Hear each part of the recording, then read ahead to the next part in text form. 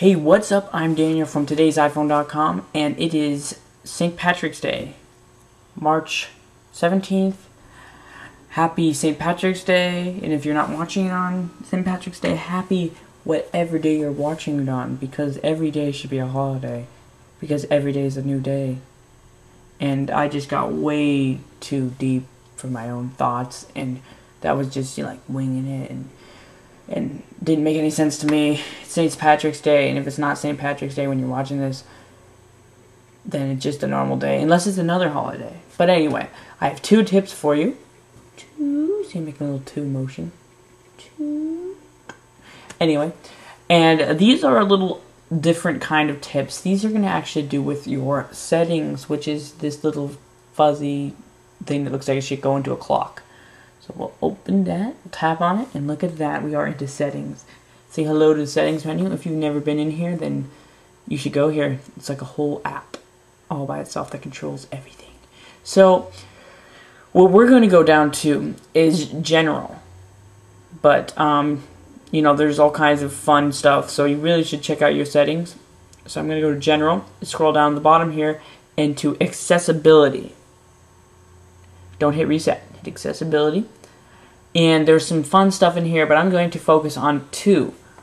First tip will be how to invert the colors of your iPod or iPhone. So this could be a cool trick. I thought about playing this trick on someone and telling them they broke my iPhone. You just you just type um, this little guy, this little switch, and you just flick it so it's on, and it just put on white on black, which means it inverts all the colors of your iPhone. So let's say I wanted to go to Yahoo.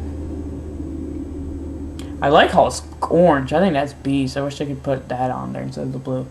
And we have orange, or you know, it looks like a, it looks like it's film kind of. It's called inverted. Inverted. There we go. Let's go to today's iPhone. Today's iPhone, and it'll load up, and you can kind of see what it looks like. See, I don't know why you would want to invert their iPhone unless it was just like a joke. Then we could go and we could put on a video. Let's see what Star Wars looks like go with Star Wars 5, which is like the best Star Wars episode.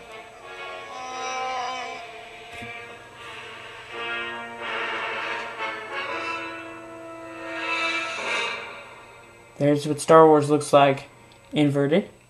Double tap. So that's inversion for you. I don't know why you'd want to do it. I mean, it looks cool, but then you know after five minutes, it would kind of get annoying. At least I think so. Maybe it could save you battery, like it reading, like because it's black. I don't know. I'm just winging it now. I don't know why they put this feature in, but you could say that someone broke their, your iPhone and then t- tease them, you know. So that's the first tip. So the second tip is we're gonna go back into settings, general, accessibility, and this one's a bit more useful. Turn that off. Don't want that. And I'm gonna go to zoom.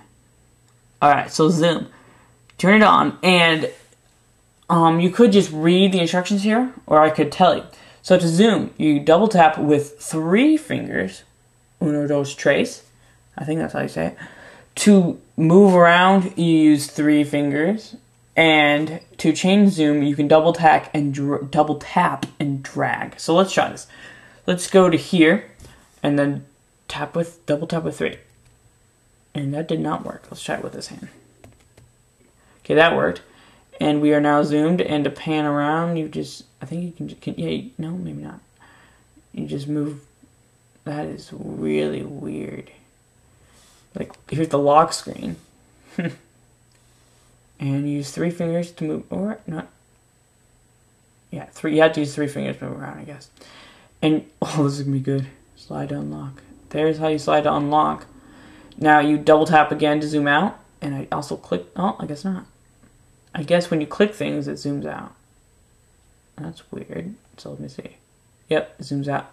It's weird. So let me try getting out. Ah, this is really hard. Let's go to an actual app and do this. Let's go to photos. Okay. No, I just chose a photo. Great. There we go. There's my lovely picture of me. Want to see it? Yeah, I know it's pretty beast. Um, but anyway, and then you can change the level of zoom by tap, or I think it's double tap actually. So double tap and then drag, and that did nothing. Man, I need to do this on a different. Let's. Let's do this not on the App Store. Wow, this is this is kind of hard to negotiate.